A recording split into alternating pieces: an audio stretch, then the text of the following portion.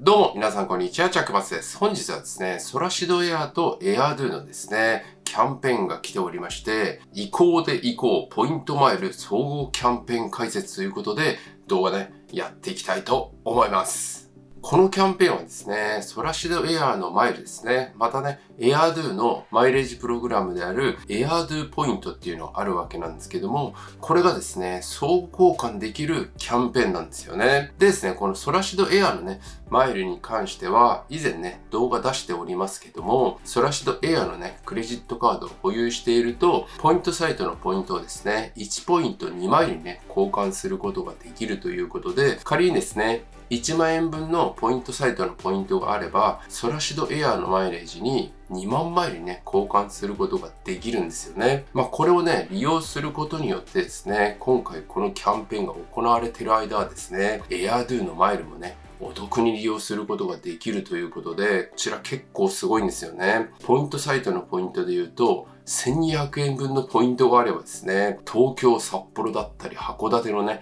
レギュラーシーズンのね、特典航空券を発見することができるということで、気になる方はかなりね、お得に利用することができるというふうに思いますので、ぜひね、最後までご覧いただければなと思います。では、キャンペーンの詳細ですね。キャンペーン名は、移行で移行、ポイントマイル総合交換キャンペーンということで、こちら期間がですね、2021年の7月1日から2022年の3月31日、14時59分までということで、こちらね、7月1日からのね、キャンペーンという風になっております。でですね、特典なんですけども、期間中、ソラシドエアーマイルからエアドゥのポイント、エアドゥのポイントからソラシドエアのね、マイルに相互交換がね、することができます。でですね、ポイント交換レートなんですけども、こんな感じになっておりまして、ソラシドエアーのマイルですね、600マイルがエアドゥのポイント400ポイント。ソラシドエアのマイル1500マイルがエアドゥのポイント1000ポイント。ソラシドエアのマイル2400マイルがエアドゥのポイント1600ポイントにね、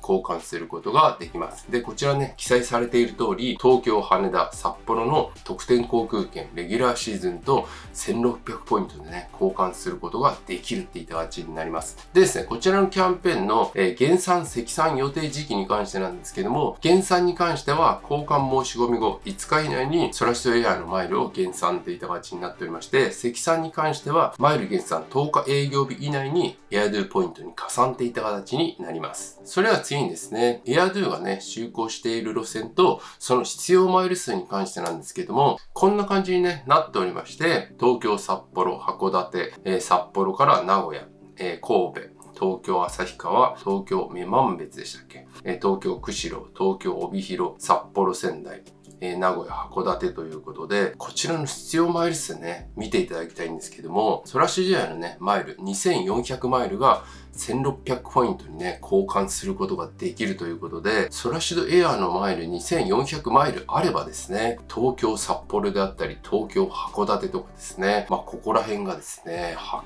見することができるんですよね。かなりすごいですよね。また東京旭川とかね、東京帯広であれば1800ポイントでね、交換することができるということで、かなりね、交換率がいいですよね。それでは次にですね、ソラシドエアのマイルについてなんですけども、動画のね、冒頭でも言った通りですね、ソラシドエアのマイルっていうのは、ポイントサイトのポイントを1ポイントにソラシドエアマイルにね、交換することができるっていった形になってるんですよね。で、このポイントサイトからこのソラシドエアのね、マイルに交換するにはですね、こちらのクレジットカードですね、ソラシドエアクレジットカードがないと、このポイントサイトからこのソラシドエアのね、マイルに交換することができないって言った形になるんですよね。ですので、今回のキャンペーンですね、これお得だということで利用されたい方はですね、ソラシドエアのクレジットカードをですね、発行していただく必要があるって言った形になります。で、ポイントサイトの1ポイントをですね、2マイルに交換することができるということで、ポイント交換ルートの詳細についてなんですけども、ポイントサイトからソラシドエアのね、マイルに交換するには、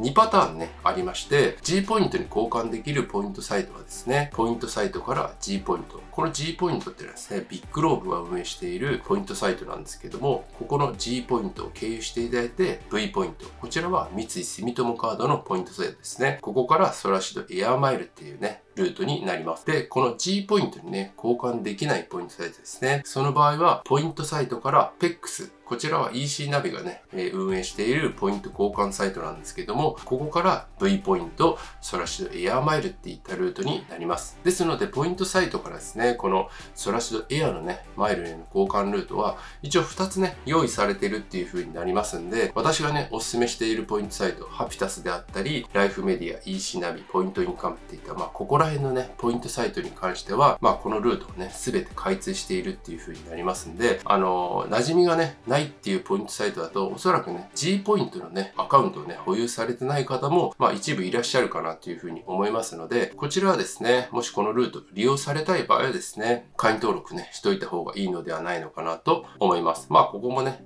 ビッグローブっていうね、まあ、大きい会社が運営しているポイント交換サイトなので、まあ、かなり安心してね、利用することができると思います。ということで、このルートをね、組んでいただくと、仮にね、ポイントサイトに1万円分のね、ポイントがあるとですね、ソラシドエアマイルですね、2万マイルに交換することができますよね。で、これをエアドゥポイント、今回のキャンペーンですね、交換していただくと、2400マイルが1600ポイントにね、交換することができますので、2万マイルね、あればですね、19,200マイルをね、利用して交換すると1280エアドゥポイントにね、交換することができます。で、1280エアドゥポイントがね、あるとですね、東京、札幌のね、片道特典航空券が1600ポイントっていう風になりますんで、こちら8回分のね、特典航空券に交換することができるんですよね。今ね、ポイントサイトのポイント1万ポイントをソラッシュエアのね、マイルに交換して説明させていただきましたけども、まあこれ簡単に言えばですね、ポイントサイトに1200円分のポイントがあったとしますよね。それをソラシドエアにね、交換していただければ、2400マイルになるということで、それをエアドゥポイントに交換していただければ、1600エアドゥポイントっていう風になりますんで、まあ、これだけですね、東京札幌間ね、片道特典航空券ね、利用できてしまうんですよね。かなりすごいですよね。ポイントサイトね、利用されたことない方だとですね、ちょっとその1200円分のポイントがね、どのぐらいで稼げるのかっていうのはね、ちょっとわからない部分はあるかもしれないんですけども、まあ私の動画ね、ずっと見ていただいている方であればですね、まあなんかね、クレジットカード1枚発行していただければ、1万円分のポイントっていうのは結構簡単にね、稼げてしまうっていう風になりますんで、これね、かなりすごいですよね。こんな感じでね、発見していいのかって思うぐらいですよね。ポイントサイトのポイント1200円分のポイントで、東京札幌間発見できてしまうわけですからね。私のね、動画のコミュニティ欄っていうところですね、随時ね、このおすすめのね、ポイントサイトの案件っていうのも発信ね、行っておりますので、もしね、気になる方はそちらね、見ていただいて利用ね、していただければ本当にね、この1200円分のポイントっていうのはかなり簡単に稼げますので、ぜひね、利用してみていただきたいなというふうに思うんですよね。それでは次にですね、一応ね、デメリットもね、一応話しておきたいなっていうふうに思うんですけども、まあ1200円分のね、ポイントサイトのポイントで、まあ東京札幌間ね、片道発見できるということで、これだけね、かなりお得っていう風になりますんで、デメリットが多少あってもね、いいのかなっていう風に思うわけなんですけども、やはりね、この AirDo のポイントで AirDo にね、登場するという風になりますんで、ANA でも JAL でもね、ありませんので、この上級会員のね、資格を ANA、JAL ね、保有されていた場合もですね、ラウンジ等々はね、利用することができませんので、まあ、この点はね、注意しといていただきたいなっていう風に思います。それでは次にですね、この AirDo のね、特典航空券の基本情報に関してなんですけども、まず、移行したね、AirDo ポイントに関しては、有効期限がね、12ヶ月間っていう風になりますんで、この点はね、交換しすぎないようにね、利用していただければなと思います。またですね、この発見した特典航空券に関しては、変更はね、前日まで可能っていう風になっておりますけども、当日はね、できませんので、この点も注意してください。で、払い戻しに関してなんですけども、こちら手数料がかかるということで、200ポイントのね、手数料がかかりますので、この点もね、覚えておいてください。でですね、この AirDo のね、すごいいいところはですね、こちら、友人にもね、特典航空券発見することができるんですよね。これすごいですよね。ANA とか JAL にはね、ない特典なんですけども、友人、知人とかですね、誘って自分のね、マイルで発見してね、一緒に旅行行くみたいな。そういったね、利用方法も使うことができますんで、この点はね、かなり使いやすくていいですね。でですね、一つ注意点がありまして、このエアドゥポイントを使った特典航空券なんですけども、ブラックアウトがね、ありますので、この点はね、注意してください。このブラックアウトっていうのは、特典航空券が利用できない期間ですね。こちら、2021年と2022年。まあ、2022年は1月2日から4日までしかまだ記載がないんですけども、まあ、こういった感じで、この期間はですね、この特典航空券ね、利用することができませんので、この点はね、よく覚えておいていただいてですね、利用していただければなと思います。